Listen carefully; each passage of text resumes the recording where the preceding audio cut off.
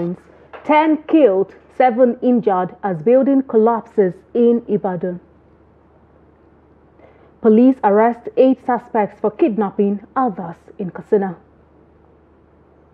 Taraba tricycle operators block Jalingo Highway in protest over police extortions. On the foreign scene, Spain begins three-day mourning as torrential rains kill 95. It's the news update on Trust TV. Hello and welcome. I am Aisha Salihu. The news in detail. We'll begin with a sad development. Ten bodies have been recovered from the debris of a collapsed story building at Luloyo area of Ibadan, the Oyo state capital. Some persons were also confirmed injured in the collapse that took place on Thursday.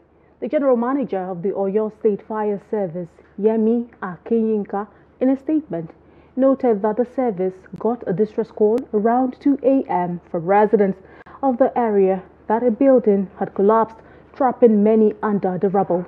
The police also confirmed the development in a statement, saying adequate security has currently been in place in the area to prevent hoodlums from taking over the incident scene and also protect the lives and property of other residents within the jurisdiction. The police statement added that investigation is ongoing at the moment to unravel the possible circumstances that could have led to the incident.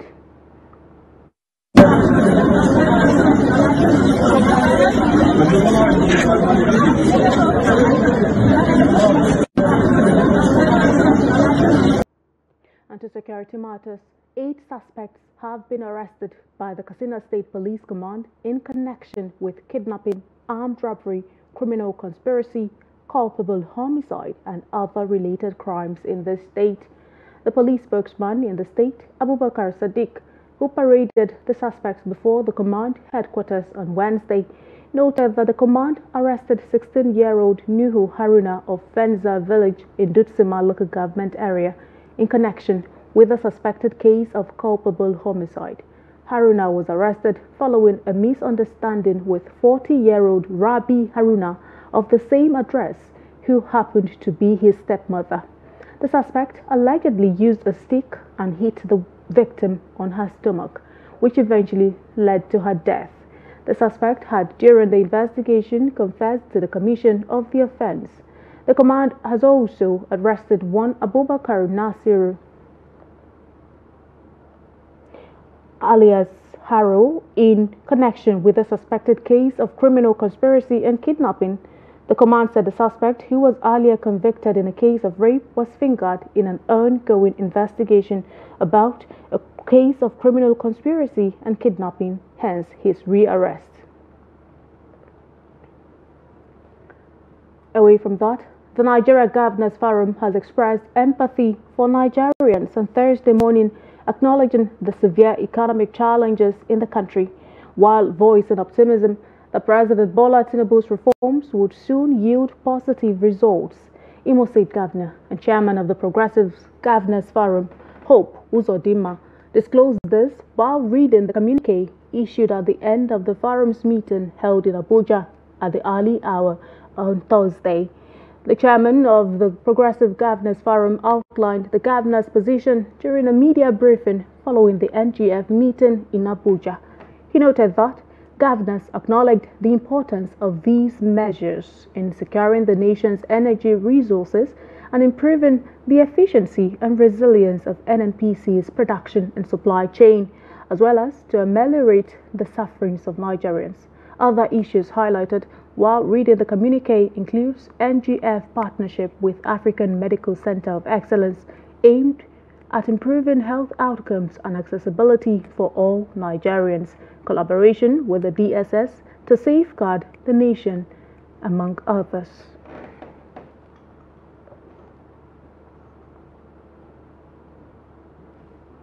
The tricycle operators, popularly known as Keke NAPEP riders in Jalingo, blocked the major highway in the Taraba state capital over alleged extortion by the police. The blockage lasted over two hours. was said to have disrupted free flow of traffic within the city center. The report. The chairman Kekena Napep riders in Jalingo, Nasiru Garba, who spoke shortly after the protest, lamented that some traffic police officers being harassing members of the group under the guise of wrong parking and other excuses. All get was extorting money from them. Garba noted that those who fail to give them money will be arrested, charged, and taken to the station.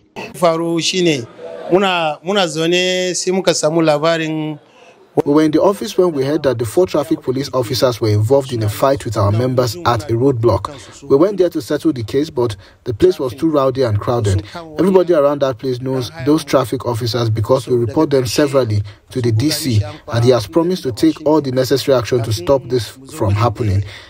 Another branch chairman of the Keke riders, Saad Isiaka, found out the attitude of some security personnel who use their uniforms as a tool to violate the rights of the citizens. Gaskiya an dan samu hargitsi a roadblock sakamakon What happened at the roadblock today is just unfortunate. The attitude of security personnel who always come to extort us via unnecessary taxes is not fair. They caught my boy yesterday around NNPC filling station and collected 1,500 naira from him for no reason. Yes, our keke riders did not do well, but the security personnel are the cause of everything. They don't wear uniform, but will instead disguise and enter the keke, arrest the rider without taking us to the station. They will only ask us to settle them there through bribes. When we refuse, then they will call their people from the station to come and arrest us without any reason. Some eyewitnesses described the altercation as unnecessary and called for an amicable solution to the fracas. Eh to abun da ya faru a yau dai wani dan keke ne zo faka mashin nasa. What happened today at the roadblock is that one of our rider parked behind a car that parked in no parking area and the traffic did not accost the car but entered the keke and asked the rider to bring something because he parked at a no parking area. But the rider tried to explain to the traffic police that the place is a parking place since there was no sign displaying no parking. The disagreement led to an altercation that saw other riders blocking the road. It took the intervention of the military to settle the scuffle. To be frank, these people are not fair to us. The security personnel will come and enter your vehicle in mufti, waiting for you to drop your passenger. If you mistakenly stop at no parking area, he will arrest you and ask you to do something and go. If not, they will take us to their station and arrest us there. Eh har ga Allah ni abun da na sani bai da yawa amma zan ga iya abun da na sani. I don't know much about what happened, but I heard that one keke driver wanted to park beside the highway. In fact, he did not even stop, and the traffic police entered the keke and asked the rider to bring something. When he refused, the fight ensued, and other riders in the area joined their colleagues to beat up the officer before military officers arrived and calmed the situation. The Union of the Keke Riders, as well as operators, called on the security agencies to reduce the taxes they impose on them to enable them make profit from their trade. Attempt to speak with the police public relation officer of the Taraba State Command proved abortive. And to matters of politics, ahead of the November 16 Ondo State governorship election, the Independent National Electoral Commission has announced that candidates in the race will sign a peace accord on November 8, facilitated by the National Peace Committee, led by former head of state General Abdulsalami Abubakar. The signing aims to ensure candidates pledge to a peaceful and violence-free election as campaigning reaches its peak in the final two weeks. The INEC chairman, Mahmood Yakubu, said this during a quarterly consultative meeting with civil society organizations in Abuja on Thursday. Yakubu also flagged potential hotspots in Ondo State, noting that the Commission is coordinating with security agencies to prevent violence. Yakubu highlighted the importance of contributions from civil society organizations, emphasizing their role in promoting peaceful elections. He called on CSOs that observed the recent Edo governorship election to promptly submit their reports. He noted that nearly 72% of registered voters have collected their permanent voter's card, adding that INEC has scheduled a mock accreditation exercise in selected polling units for November 6 to test result uploads on the INEC result viewing portal.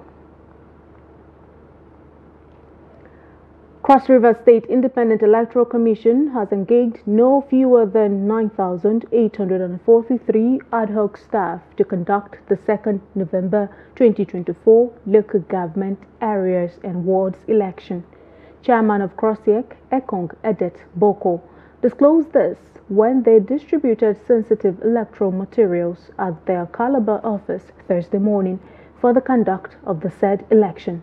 Boko explained that three of these ad hoc staff will work from each of the 3,281 INEC recognized polling units across the 18 local government areas of the state. He added that 460 supervisors, 18 returning officers, and 196 collation officers were trained and will function during the elections.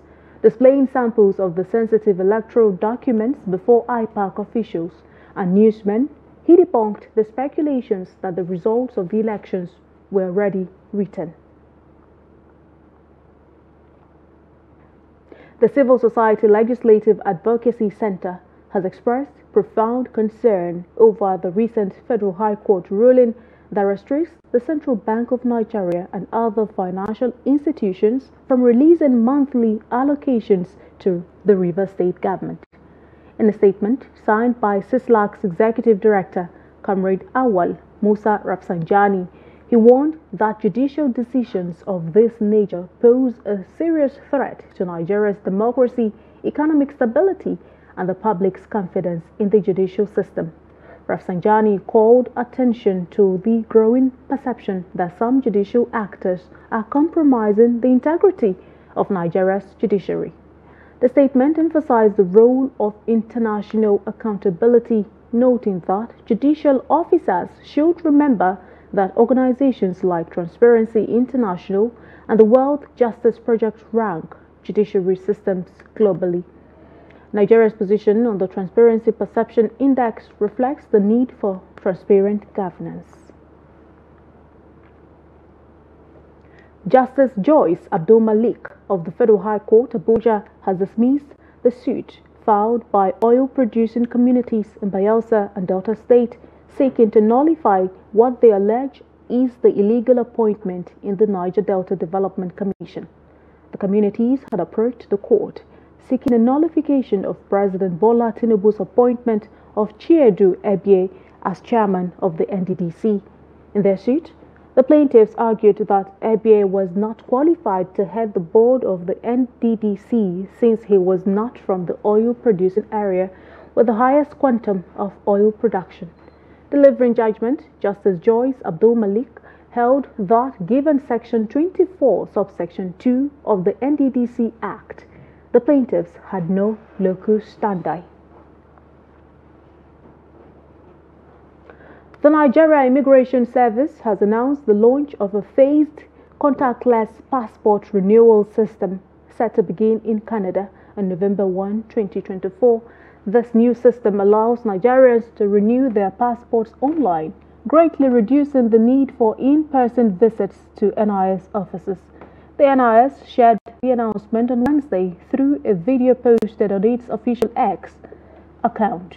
Following the rollout in Canada, the service will expand to the United Kingdom, United States, and Italy on November 15, and by December 1, it will be available in Nigeria and other global locations. According to the NIS, the phased rollout is designed to enhance accessibility for Nigerians worldwide, allowing citizens to renew passports seamlessly from any location without visiting NIS offices. The NIS stated that Nigerians will be able to renew their passports by downloading the NIS mobile app available on Google Play, the App Store, and the Windows Store or by visiting its portal. While the app is not yet available on Google Play or the App Store, the NIS noted that starting November 1, Nigerians in Canada are expected to access the app on these platforms and begin using the service.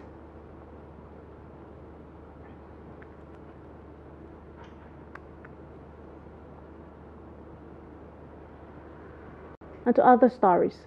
South Africa says it would revoke the citizenship of Miss Universe Nigeria contestant Chidimma Adetshina, who was at the center of a row over her nationality in the famed Rainbow Nation.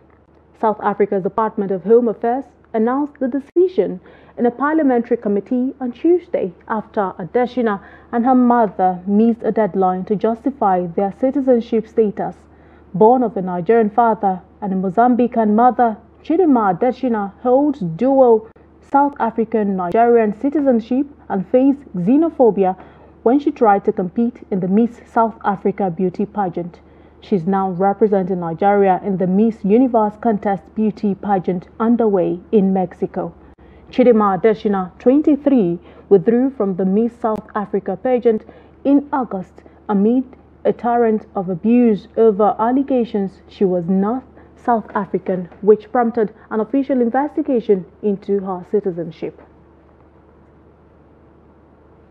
Adamawa State Government, in collaboration with UNICEF, has launched the Adamawa State Social Protection Policy and Costed Implementation Plan. The event, held at the Government House in Yola, aims to address the challenges posed by climate change and insecurity which have exposed citizens to various forms of hardship. Gibson Swadigo reports. Commissioners, permanent secretaries, and other stakeholders converge at the conference hall of Government House Yola, Adamawa State, to launch a social protection policy and costed implementation plan, monitoring, evaluation, accountability, and learning plan in partnership with UNICEF. Launching the policy document, Governor Fintiri, represented by the Commissioner for Reconstruction, Rehabilitation and Reintegration, Hamandaram, noted that the social protection policy seeks to reduce poverty and improve the well-being of all citizens through deliberate interventions. He emphasized that the policy will implement 24 measures in eight key areas of the social sector, including education and healthcare. The Adamawa State Social Protection Policy aligns with the State Development Plan of 2020-2025 and the five objectives of Global Sustainable Development Goals which are directly related to social protection. The Executive Chairman of the Adamawa State Planning Commission, Mary Paninga, praised the Governor for laying the foundation for protecting the less privileged and vulnerable. She said the initiative demonstrates the government's commitment to transparency efficiency, and accountability in addressing socio-economic hardship and insurgency in Adamawa State. This is why together with this document there's the implementation plan attached, making it very, very, very easy, simple and seamless to ensure that the implementation takes place together with the monitoring apparatus. Director General of PAWECA Michael Zira announced the governor's approval for the disbursement of another tranche of the Fintiri wallet. Gibson So Adugo. Trust TV News, Yola. And to developments in business, the Major Energies Marketers Association of Nigeria has assured Nigerians of petrol availability and cautioned citizens against panic buying. In a statement on Wednesday, Meman boss Clement Isong said the association has a significant stock of products in its tanks saying there were no issues with access to the stock. Isong said the clarification became imperative following several inquiries from the press regarding the perceived tightness in the petroleum supply market, while assuring that Neyman Meman does not envisage any outages of petroleum products in the immediate future or in the near term.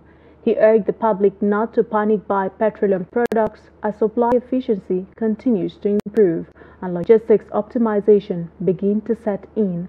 He added that members shall continue to do all within their power to optimize their supply and logistics costs and efficiency to ensure the highest level of availability, accessibility, and affordability for their customers in the increasingly competitive environment.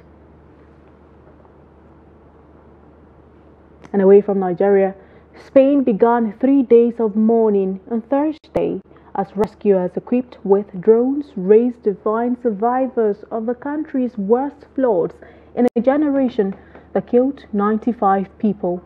Flags flew at half-mast on government buildings throughout the country after a Mediterranean storm unleashed torrential rains and torrents of mud-filled water that swept away people, cars and homes. Emergency services backed by more than 1,200 military personnel combed mud-caked towns and villages on Thursday to find survivors and clear roads of debris. Government ministers have warned the toll is likely to rise with many people still missing and some areas remaining inaccessible to rescuers throughout Wednesday. The death toll is the worst from floods in Spain since 1973, when at least 150 people were estimated to have died in the southeastern provinces of Granada, Murcia, and Almeria. Still on the foreign scene, Kamala Harris and Donald Trump took their nail-biting White House race west on Thursday, seeking supremacy on border security and aiming to woo crucial Latino voters days ahead of the U.S. election. Pop singer Jennifer Lopez will bring her star power to the stage for Harris in Las Vegas as the candidates battle through the seven swing states expected to decide the next president. Meanwhile, Trump has scheduled an interview with Arizona in Arizona with ex-Fox News host Tucker Carlson and a rally in Nevada. Both campaigns have been sidetracked in recent days after controversies stemming from a remark by a warm-up speaker at a Trump rally, which initially blew back against Republicans before a damaging gaffe from President Joe Biden. Harris made political hay from the comedian calling the U.S. territory of Puerto Rico a floating island of garbage, winning the backing of Puerto Rican celebrity Lopez, rapper Bad Bunny, and singer Ricky Martin but she then found herself on the defensive after Biden appeared to call Trump supporters garbage, prompting the Democratic candidate to state that she disagreed with criticism of people based on who they vote for. A senior Hamas official on Thursday said the group rejects any proposal for a temporary halt to more than a year of fighting in Gaza and insists on a lasting ceasefire. Mediators seeking to broker a Gaza ceasefire are expected to propose a truce of less than a month to Hamas, a source with knowledge of the talks told AFP on Wednesday. Meetings between Mossad head David Barnea, CIA Director Bill Burns, and Qatar's Prime Minister in Doha, which concluded on Monday, discussed proposing a short-term truce of less than a month. The proposal involves exchanging Israeli hostages for Palestinians in Israeli prisons and increasing aid to Gaza. United States officials believe that if a short-term deal can be reached, it could lead to a more permanent agreement, the source said. Hamas said it had not received any proposal so far, adding if it gets such a plan, it won't respond. It, however, reiterated the demands the group has been insisting on for months, which is a permanent ceasefire, withdrawal of Israeli forces from Gaza, the return of displaced people, sufficient humanitarian aid to Gaza, and a serious prisoner exchange deal. And finally, sports. Ruben Amorim is expected to be confirmed as Manchester United's new manager on Thursday after the club reached an agreement with Sporting Lisbon. The Athletics said the 39-year-old would stay with the Portuguese league leaders for their next three games, including next week's Champions League match against Manchester City. He is expected to take charge at Old Trafford during the November international break, with his first game set to be United's away trip to Ipswich on November 24. Reports say the Premier League club has paid had paid Sporting an extra 1 million euro over and above his 10 million euro exit clause for an early release. Sporting issued a statement to the Lisbon Stock Exchange on Tuesday confirming United were willing to meet the release clause. United pulled the plug on Eric ten Hag's two-year reign as manager on Monday after a 2-1 defeat by West Ham left them 14th in the Premier League. Amorim quickly emerged as United's number one option. United caretaker boss Ruud van Nistelrooy oversaw a 5-2 victory against Leicester in the fourth round of the League Cup on Wednesday. And on that note, we've come to the end of the news update on Trust TV at this hour. Remember, you can always follow us across all of our social media platforms and also join our YouTube live stream for more news, programs, and documentary. I am Aisha Salihu. Thank you so much for watching.